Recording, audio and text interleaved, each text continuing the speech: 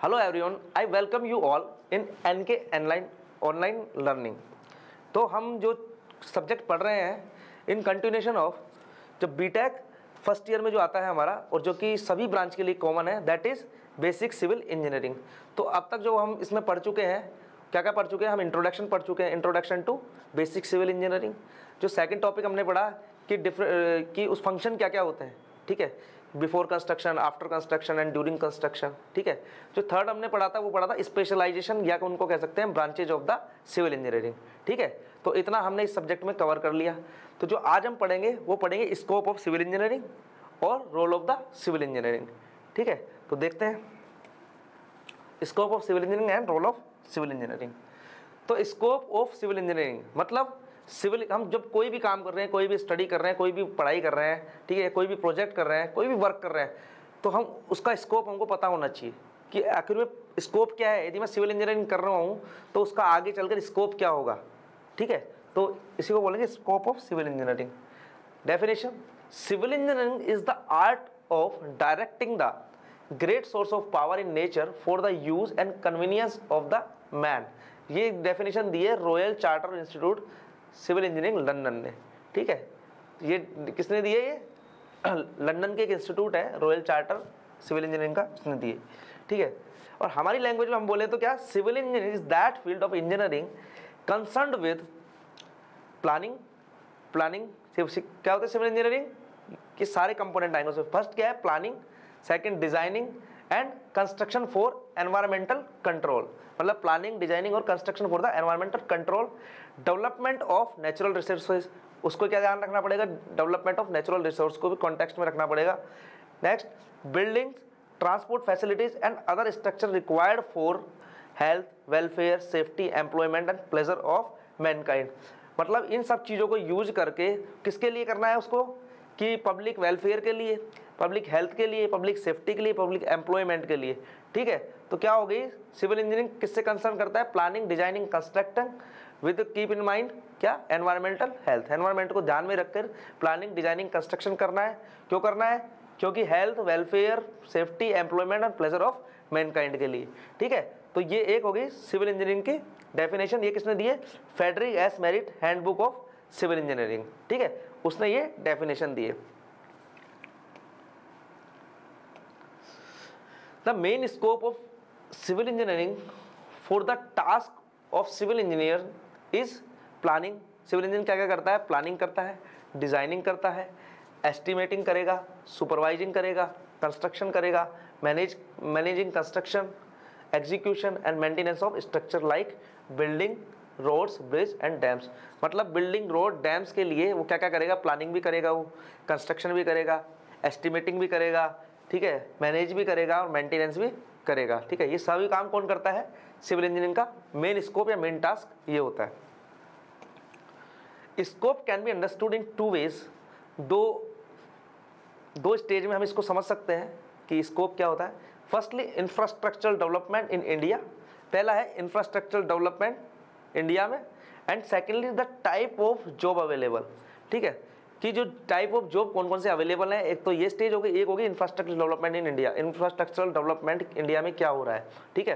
तो दो बेस पर हमने डिवाइड कर लिया स्कोप को infrastructural development in India and number of jobs available in या types of jobs available in India तो टाइप्स ऑफ़ जॉब्स देखेंगे हम। टाइप्स ऑफ़ जॉब्स क्या है? हमको है कौन कौन सी जॉब हो सकती हैं? टेक्निकल जॉब हो सकती हैं, ठीक है? और कौन सी हो सकती है job non technical job India में बेसिकली जो सिविल इंजीनियर के लिए है, या किसी के लिए भी दो तरीके की जॉब अवेलेबल है, ठीक है? Technical job and non technical job ठीक है? अभी हम, मैं बिज़नेस को अलग रख रहा हूँ, ठीक है? बिज़नेस को मैं अलग रख रहा हूँ। अभी हम जॉब्स की बात कर रहे हैं। जॉब दो ही प्रकार की हैं। या तो टेक्निकल होगी या नॉन टेक होगी। टेक्निकल जॉब अब टेक्निकल जॉब भी किस पे डिपेंड दो तरीके से डिपेंड है। एक है on the basis of employer agency एक होती है एम्प्लॉयर एजेंसी पे डिपेंड ठीक है, उसमें क्या क्या आ गया? Government sector private sector and public sector government sector हो गया, आप जानते हो सब गवर्नमेंट सेक्टर प्राइवेट सेक्टर आपको पता है प्राइवेट कंपनीज़ ठीक है public mixture of government and private P S U's public sector on the basis of type of work second जो टेक्निकल जॉब होगी, वो होगी, जो वर्क है, उसके टाइप पे डिपेंड करती. डिज़ाइनिंग वर्क हो गया. साइट वर्क हो सकता है। ठीक है? तो फ़र्स्ट हम देख रहे हैं on the basis of employer agency ठीक है? इस पर तो फ़र्स्ट है गवर्नमेंट सेक्टर में। ठीक है? अब गवर्नमेंट सेक्टर में डिफरेंट डिफरेंट डिपार्टमेंट्स हैं, जो कि सिविल इंजीनियर्स को रिक्रूट करते हैं।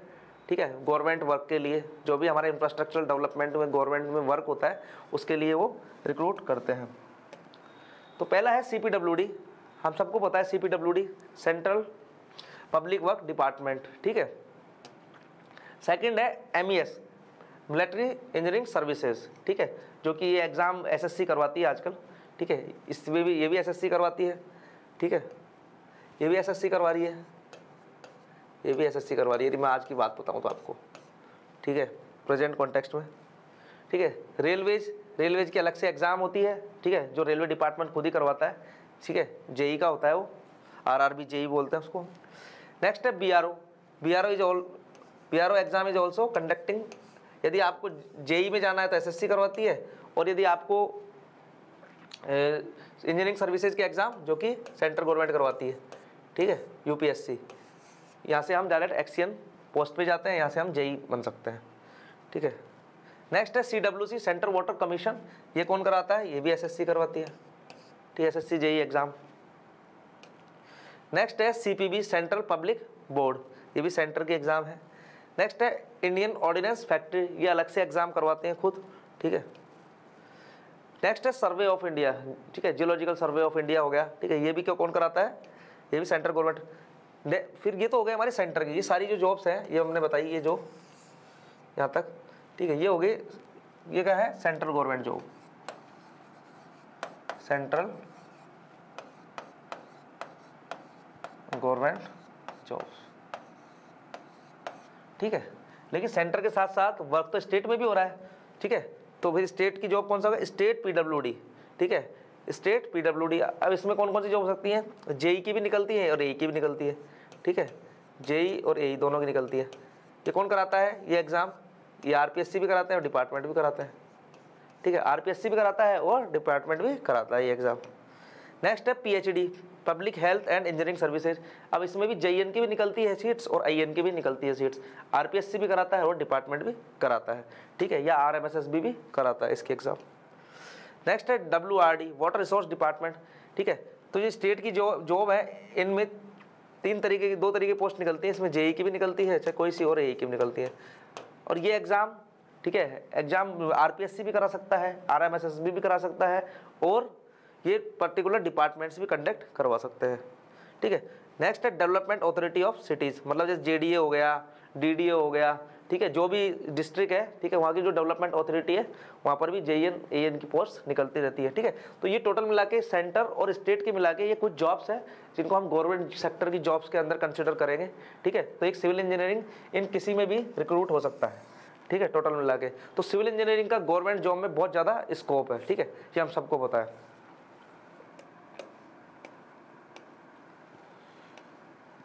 फिर आ गया पब्लिक सेक्टर ठीक है? पब्लिक सेक्टर मतलब it is a combination of government and privates ठीक है? शेयरिंग होता है दोनों का, ठीक है? इसलिए हमको बोलते हैं, इसको बोलते हैं पब्लिक सेक्टर पीएसयूज हैं कुछ, ठीक है?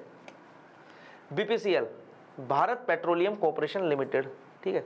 ये बेसिकली किसके बेस पे लेते हैं? ये चीज़ जो एग्ज़ाम बता रहा हूँ मैं सारी लगभग, ये सब या तो गेट के बेस पे लेंगे, ठीक है? गेट के बेस पे लेंगे आइधर ये खुद कराएँगे सेल्फ ठीक है? ये खुद एग्ज़ाम कंडक्ट करवाएँगी। बट मेजोरिटी में किसके बेस पे लेती है? गेट के बेस पर रिक्रूट करती है सिविल इंजीनियर को। ठीक है? तो बी और इन इन कंपनीज़ को भी हमने डिवाइड किया है। महारत्न कंपनी ठीक है? मिनी रतन रतन कंपनी ठीक है? इस तरीके से हमने इनको डिवाइड भी किया है। NTPC national thermal power corporation ठीक है? ये क्या? ये जनरेट करती है पावर ठीक है? ये भी गेट से और खुद भी एग्ज़ाम कंडक्ट करवाती है, ठीक है? ये बहुत इंपॉर्टेंट है ये सारे। क्यों? क्योंकि जो अपने इंडिया की जीडीपी है ठीक है, जो इंडिया की जो जीडीपी को रन करते हैं, ये जो पी हैं, ये बहुत इंपॉर्टेंट रोल प्ले करती हैं, ठीक है? तो ये बहुत अच्छी अपॉर्चुनिटी है जॉब करने के लिए पब्लिक सेक्टर ठीक है एनटीपीसी हो गया नेक्स्ट हो गया ONGC oil and natural gas corporation next हो गया SAIL steel authority of India सब गेट गेट से लेती हैं सारी, ठीक है? सारी जो एजेंसीज हैं, ये पी हैं, ये सब गेट से रिक्रूट करती है सिविल इंजीनियरिंग को। भेल हो गया, भारत हैवी इलेक्ट्रिकल लिमिटेड फिर आईओसीएल हो गया Indian oil corporation limited then CIL coal India limited then GAIL gas authority of India limited ये जो मेजर मेजर जो पी थी, उनके मैंने नाम लिखे हैं, ठीक है? जो कि हमारे इंडिया की जो जीडीपी है उसको, ठीक है? चलाती हैं सारी, ठीक है? तो ये मेजोरिटी में मैंने ये कुछ पी एस ली बाकी पी एस और भी बहुत सारी हैं, ठीक है? छोटी, बड़ी, काफ़ी पी एस है, ठीक है? लेकिन मेजोरिटी में मैंने इसको लिख लिया। नेक्स्ट है प्राइवेट सेक्टर अब प्राइवेट सेक्टर में भी स्कोप कम नहीं है सिविल इंजीनियरिंग का. क्यों?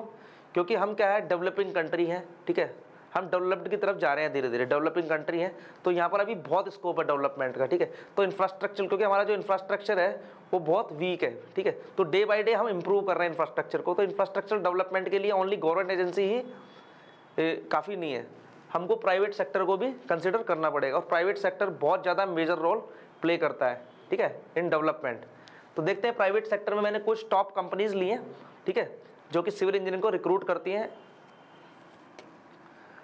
एल एन टी सभी ने ये तो नाम सुना ही है एल एन टी बहुत बड़ी कंपनी है सिविल इंजीनियरिंग की टॉप कंपनी है लार्सन एंड टर्बो ठीक है सारे प्रोजेक्ट करती है रोड के हो हाईवे के हो बिल्डिंग के हो, कैसे भी सारे प्रोजेक्ट ही करती है। नेक्स्ट है डीएलएफ ठीक है डीएलएफ भी अपने आप में एक बहुत बड़ी कंपनी है, इसका नाम है डेली लैंड एंड फाइनेंस ठीक है। रेपुटेड कंपनी है सारी। नेक्स्ट है एनसीसी नागार्जुना कंस्ट्रक्शन कंपनी फिर है H Hindustan construction company R I L Reliance infrastructure limited G M R infrastructure Gammon India जो कि स्टील का स्टील की कंपनी है। GRIL G R infra limited GRIL road बनाती है एंड टाटा प्रोजेक्ट्स लिमिटेड तो ये जो मैंने कंपनीज़ लिखी है प्राइवेट ये बहुत मेजर कंपनी है, बहुत बड़ी कंपनीज़ है, ठीक है? बहुत ज़्यादा जिसके कहते ना ड्रीम कंपनीज़ है ये सिविल इंजीनियरिंग के लिए प्राइवेट सेक्टर में। तो उनका मैंने ये नाम लिखा है। लेकिन ऐसी एन नंबर ऑफ़ छोटी बड़ी कंपनीज़ हैं, जहाँ पर आपको प्राइवेट नौकरी मिल सकती है प्राइवेट जॉब लग सकती है आपकी, ठीक है? तो प्राइवेट सेक्टर में भी अपने आप में बहुत अच्छा स्कोप है, ठीक है? सिविल इंजीनियरिंग का। अब नेक्स्ट कैटेगरी आ रही है on the basis of type of work ठीक है, ये तो हमारी जो वर्क हुई तो गवर्नमेंट जॉब या प्राइवेट जॉब हो गई या पब्लिक सेक्टर जॉब हो गई, वो तो एक पर्टिकुलर जॉब हो गई। और हम क्या क्या काम कर सकते हैं? ठीक है टाइप ऑफ़ वर्क पे भी जॉब्स डिसाइड है। डिज़ाइन वर्क यदि किसी को डिज़ाइनिंग बहुत ज़्यादा पसंद है तो मार्केट में, ये देखो सॉफ्टवेयर है AutoCAD STAAD Pro ETABS SAP geo Plaxis TopoCAD ठीक है? और ऑटो कैड तो बहुत आप सबने नाम सुना होगा, जो भी हम नक्शे वगैरह, जो भी मैप्स हम बनवाते हैं घर के, ठीक है? तो वो इसी से बनते हैं, ठीक है? सेकंड है साइट वर्क और फ़ील्ड वर्क ठीक है? जो इन मैप्स वगैरह बनते हैं, उसको एग्जीक्यूट करवाने के लिए एग्जीक्यूटिव जो एग्जीक्यूट है, वो साइट इंजीनियर हमको चाहिए, ठीक है? जो कि उस वर्क को ज़मीन पे उतारेगा ग्राउंड पे बनवाएगा, ठीक है? तो as civil engineer responsible for the execution of the design work जो भी डिज़ाइन किया, उसको कौन करवाएगा काम? जो भी साइट इंजीनियर है, वो उसको कंप्लीट करवाएगा, ठीक है? और civil engineers can be work as one of them given below और सिविल इंजीनियर क्या क्या काम कर सकता है? डिज़ाइन और साइट इंजीनियर तो हो गया और क्या क्या काम कर सकता है? आर्किटेक्चर एंड प्लानर ठीक है? आर्किटेक्चर मतलब जो भी हमको आर्किटेक्ट करना है, जो भी हमको बनाना है, ठीक है? उसको हमको ड्राइंग शीट पे या ऑटो कैड पे हम उसको आर्किटेक्ट करेंगे, बनाएँगे, ठीक है? और प्लान करेंगे, ठीक है? कंस्ट्रक्शन मैनेजर ठीक है? कंस्ट्रक्शन मैनेजर की पोस्ट भी होती है, जो कि उसको कंस्ट्रक्ट करवाएगा। भी हमने पढ़ा था पीछे प्रोजेक्ट मैनेजमेंट में कंस्ट्रक्शन मैनेजर मैनेजर भी एक क्या होती है? प्रोजेक्ट मैनेजमेंट की एक ब्रांच होती है, ठीक है? थर्ड स्टेप कंस्ट्रक्शन मैनेजमेंट ही था। सब कॉन्ट्रैक्टर आप सब कॉन्ट्रैक्टर भी बन सकते हो, ठीक है? खुद का supervisor surveyor and project manager ठीक है? तो ये कोई से भी इनकी पोस्ट निकलती है। आर्किटेक्चर प्लानर की पोस्ट होती है कंस्ट्रक्शन मैनेजर की भी पोस्ट निकलती है सब कॉन्ट्रैक्टर की सब कॉन्ट्रैक्टर का काम भी कर सकते हो आप, सुपरवाइजर की पोस्ट भी आती हैं, सर्वेयर का काम भी कर सकते हो और प्रोजेक्ट मैनेजर भी बन सकते हो, ठीक है? तो ये जो on the basis of type of work पे है बेसिकली डिवाइड किया गया है design work site work field work और ये काम आप उसमें कर सकते हो। अब आ गया नॉन टेक्निकल जॉब अब नॉन टेक्निकल जॉब मतलब क्या है कि आपने पढ़ाई तो सिविल इंजीनियरिंग की करी, लेकिन आप जॉब कर रहे हो नॉन सिविल इंजीनियरिंग या नॉन टेक्निकल बिल्कुल, ठीक है? तो ऐसी भी जॉब्स हैं। जैसे असिस्टेंट ऑडिट ऑफिसर आप क्या बन सकते हो? असिस्टेंट ऑडिट ऑफिसर बन सकते हो। एसएससी यूपीएससी स्टेट पीएससी ठीक है? ये सब एग्ज़ाम करो कंडक्ट करवाते रहते हैं हर स्टेट में और सेंट्रल गवर्नमेंट ये सब, ठीक है? उनके बेस पे ये आप बन सकते हो कुछ भी। इनकम टैक्स इंस्पेक्टर एसएससी से बनते हैं। सेंट्रल एक्साइज एसएससी से एसएससी सीजीएल होती है। प्रिवेंटिव ऑफिसर इंस्पेक्टर ठीक है? Assistant information officer sub inspector CBI inspector ठीक है? Statistical investigator and assistant in intelligence bureau. ठीक है? या assistant in central vigilance commission. तो ये बेसिकली ऑफिसर्स की पोस्ट में डाली है। इनको बोलेंगे हम नॉन टेक्निकल जॉब इसमें टेक्निकलिटी का कहीं पर भी कोई भी काम नहीं है। ठीक है? इसीलिए इनको क्या बोल रहे हैं? नॉन टेक्निकल जॉब ठीक है? इसमें टेक्निकल कंसर्न हम है ही नहीं कहीं पर भी। आप देख सकते हो, बिना टेक्निकल ठीक है? बिना टेक्निकलिटी के भी आप यहाँ पर जॉब ले सकते हो। ठीक है? यदि आपके पास यदि आपके पास टेक्निकल डिग्री भी नहीं है, तब भी आप एक बैचलर डिग्री के तौर पे ले सकते हो। ठीक है? नेक्स्ट है role of the civil engineering वो तो था स्कोप क्या क्या है? ठीक है? हमारा जो इंडस्ट्री है सिविल इंजीनियरिंग उसमें स्कोप हमारे पास क्या क्या है? नेक्स्ट है कि अब रोल क्या है उसका? ठीक है? क्योंकि हम जो सिविल इंजीनियरिंग करी है, ठीक है, वो क्यों करी है? कोई ना कोई हम रोल प्ले करेंगे फ़ील्ड में जाके, ठीक है, या इंडस्ट्री में जाके। तो हमारे क्या क्या रोल हो सकते हैं उस इंडस्ट्री में? A civil engineer has to conceive, plan, estimate, get approval, create and maintain all civil engineering activities. मतलब प्लान भी कर सकता है कंस्ट्रक्ट भी कर सकता है ठीक है क्रिएट भी कर सकता है और मेंटेन भी कर सकता है ठीक है सिविल इंजीनियर ये सारे काम कर सकता है so civil engineer has very important role in the development of the following infrastructure तो सिविल इंजीनियरिंग के कुछ मैं इंफ्रास्ट्रक्चर डेवलपमेंट के कुछ एग्ज़ाम्पल लिख रहा हूँ। इन सब में सिविल इंजीनियरिंग का बहुत बड़ा रोल है। क्या है? Measure and map the earth surface ठीक है? मेज़रमेंट कौन करता है? सिविल इंजीनियरिंग करता है।